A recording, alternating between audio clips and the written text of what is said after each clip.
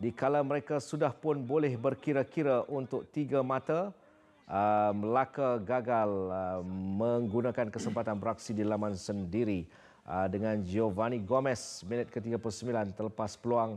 Uh, kemudiannya UiTM juga memperoleh peluang uh, menerusi uh, percubaan uh, Khairul Izzuan Rosli uh, minit ke-45 uh, gol yang dinantikan walaupun sedikit mencetuskan uh, persoalan sama ada ia masuk ataupun tidak ini dari sudut pandang yang berbeza pada hemat saya bola telah pun masuk uh, untuk memberikan jaringan yang pertama untuk pasukan Melaka United yang dihasilkan oleh S Kumaharan. Kemudian uh, UiTM terus sibuk melayan kunjungan deretan peluang barisan uh, pemain-pemain pasukan Melaka United antaranya melalui uh, percubaan uh, yang dihasilkan oleh pemain uh, tengah uh, pemain pertahanan mereka iaitu Jang Sut Woon dan akhirnya di kala Melaka United bersiap sedia untuk melonjak ke tangga ketujuh kalau mengikut perkiraan kita semalam Asmui Bakiri ya. uh, UiTM FC meledak menerusi uh, jaringan penting yang dihasilkan oleh kapten pasukan iaitu Victor Nirondol untuk satu mata dibawa pulang ke Shah Alam. Jadi tahniah untuk Ridwan Abdullah dan juga anak-anak buah jaringan penyamaan yang cukup-cukup penting. Semalam, hmm. cerita dia semalam, hmm. dah bincang. Yeah. Recap balik semalam awak cakap apa? Okey.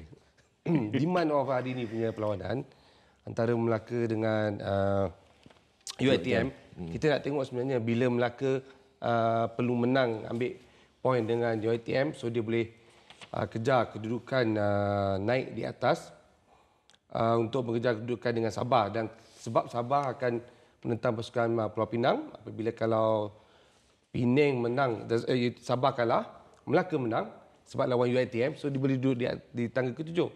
Tapi inilah masalah pasukan Melaka sebenarnya. Ini masalah pasukan Melaka yang bukan setakat perlawanan ini dia ada dah saya ingat saya dah saya dah tengok tiga ke empat perlawanan perlawanan yang mereka boleh menang dia akan draw atau dia akan kalah. Ini kesilapan yang harus mereka terima hakikat. Contoh malam ni lah UiTM okey? Uh, sedia maklum mereka dah tahu awal ni sebab di Sabah dah habis perlawanan. Mereka perlu menang dengan pasukan UiTM ambil kesempatan sebab tangga di bawah. Tapi pada masa sama dah leading by 1-0 ni isu dia. Saya rasa Melaka bernasib baik pada malam ni. Kalau kita lihat pada percubaan yang terakhir yang, yang ada one by one dengan nasib baik kredit untuk Karafami. Kalau tak rasa Melaka pun boleh tewas pada UTM pada malam ni. Okey. Kenapa pada pengamatan kita, kita bincang tadi sebentar tadi. Kenapa UiTM uh, nampak sedikit uh, lain pada malam ini? Antara faktor yang boleh saya ketengahkan adalah um, uh, kita punya sifu kita, uh, Ridwan Abdullah, uh, handicap berapa? 12. Handicap 12. Hmm. Okey. Dia mengubah sebenarnya kalau kita tengok susunan ni dia mengubah kedudukan Victor. Victor kita ketahui dia akan bermain di posisi sweeper hmm. selaku last man. Tetapi untuk perlawanan ini Victor diletakkan bermain bersama dengan Osmane kerana kedua-dua ini sudah lama dengan UiTM tactical ini dilihat menjadi dengan formation 4-2-3-1. Uh, Syarum, 4-2-3-1. Saya setuju. Kalau kita lihat, Usmani Fani dan juga Victor Nerono, dua individu bagi saya cara permainan mereka berbeza. Uh, Victor Nerono akan lari all over the place iaitu on taking on the Tetapi Osmani Fani akan berada di situ. Dua kombinasi yang membuatkan, boleh dikatakan Berlin Wall eh, untuk hmm. pasukan Melaka nak masuk dalam susah disebabkan dua pemain ini. Hmm. Wih? Ya, saya setuju kerana hmm, Coach Ridu tolak dua pemain ini duduk di tengah kerana faktor pemain import ada kekuatan untuk menang bola di bahagian tengah, faktor fizikal yang penting. Pada masa sama, uh, saya tertarik juga dengan pemain import mereka nombor 10 eh, Wong Yong yang banyak terima bola, buat gerakan sampai di peringkat atas. Tetapi untuk bahagian atas attacking agak tak menjadi. Hmm. Itu Joel eh, Joel hmm. Vinicius. Ah, yang tak menjadi hmm. yang saya rasa saya tak saya tak pasti pemain ni tak dapat rentak ke atau dia tak boleh pecahkan di benteng bahagian tengah itu merugikan UiTM sendiri. Cuma kalau kita berbalik dengan apa yang berlaku dengan jaringan yang Victor lakukan adalah selepas buat coach Ridu membuat pertukaran hmm. tolak Victor duduk di bahagian attacking. So macam awak cakap tadi lah coach yang begitu berpengalaman menggunakan pemain yang ada untuk menampung kelemahan di bahagian attacking sekurang-kurangnya draw game malam ni selepas menang dengan Perak. So hmm. dia consistent, dia menang, dia draw walaupun okay. dalam keadaan yang akan turun, the best untuk UiTM. Saya rasa Coach Ridu dia dia letak mana boleh katakan pivot dua tetapi bagi saya kebijaksanaan dia menukar Diga Surdi dan juga Rafi Yaakob yang bermain di sebelah kiri dan kanan yang masuk dan membantu. Hmm. Iaitu hasil jaringan pun hasil dari crossing uh, cutback yang dilakukan oleh Diga Surdi. Itu yang menunjukkan sebenarnya UiTM ni boleh skor. Boleh boleh boleh bagi movement yang baik. Apa ulangi sekali lagi? Boleh skor. Untuk tim mana ni? Untuk UiTM. Okey, baik. Uh, boleh skor.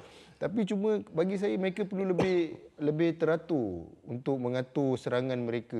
Tak terlebih nampak macam kelang kabut kan. Hmm. Tapi sekarang kita dah nampak ada pattern play, cara permainan mereka. Itu bagus untuk UiTM. Ada tambah?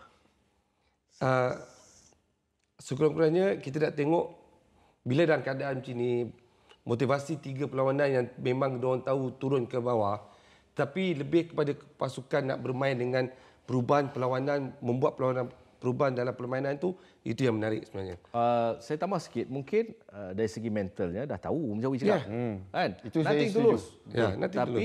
Tapi perubahan corak permainan. Uh, satu lagi nak memalukan tim yang di atas ni. Ya. Uh, ayat saya guna tu memalukan tim di atas. Betul tak? Ya. Kan? Te- Perak tewas, draw dengan Saya mereka. rasa sebenarnya mungkin okey macam cakap tadi lah player-player UiTM free. Kita dah tak ada pressure, kita dah tahu kita kat mana dan ini adalah masa untuk dia memarketkan diri dia sendiri. Hmm. Kan untuk bagi tim-tim lain nampak. Dan saya akan advise kepada mereka untuk kekal terus dalam tim ini. Pemain muda tahu pertukaran keluarkan pemain import tinggalkan Victor masuk pemain muda. Ada so, satu orang pemain Selangor United dulu eh? Ah, ya, Aiman. Aiman eh? Ya, pemain gantian tadi. Ah. So ini taktikal lah. Semua taktikal. Taktikal semuanya. Okey. Melaka United sedikit. Saya pun bila saya tengok line up ni saya rasa macam tengah tu ada sedikit masalah lah. Tak tahulah. Syarum, uh, Mawi. Saya mungkin tambah apa pemerhatian saya. Ini pendapat, ini pendapat. Ya, pemain jersey 8, Manuel Ott mungkin sedikit uh, tak menyelah ataupun tak berikan sumbangan yang lebih banyak untuk ketika pasukan uh, Melaka perlukan kemenangan, perlu habiskan baki perlawanan. Itu pada pandangan saya dan kedudukan uh, Gomez juga pada awal minit dapat apa ni one by one tak menjadikan gol itu isu mereka. Seperti kita maklum, ada perlawanan yang dia dah leading dia akan menang, dia akan kalah ataupun dia akan draw. Dan ini kita akan lihat apabila berlaku uh, dekat bahagian attacking bila Adriano masuk apa ni uh, Sony masuk ada pergerakan sampai di box tapi finishing still masih dalam keadaan yang begitu kurang rendah. Kumahara ni seolah-olah Melaka kalau Kumahara ni skor dia rembat. Itulah hmm. tak adalah dah tapping dan sebagainya sampai saya rasa itulah option yang dimiliki oleh ya. oleh Kumaran untuk dia melakukan uh, sesuatu secara solo dan berhasil. Betul. Kalau kita lihat daripada, daripada awal season apa yang Kemarahan buat cut in daripada dalam, buat crossing, buat assist.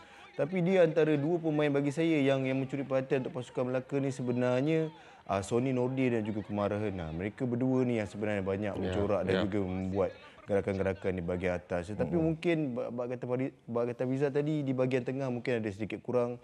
Cuma bagi saya pertukaran mereka tak mampu untuk menghabiskan perlawanan hmm. seperti yeah. Akmal dan juga Sebulah membuat pertukaran di bahagian pertahanan membuat ke, di mana apabila kita membuat pertukaran di bahagian pertahanan akan shape kita mungkin agak Betul. agak sedikit lari kan.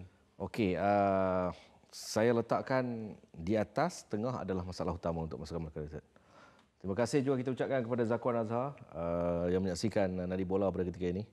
Uh, awak tadi awak sebut ni sembilan? Ni sembilan, Dik. Ni sembilan, Dik. Awak sebut Sarawak? Oh, dah, dah tengok, saya ubah balik lah. Saya tengok ni sembilan balik.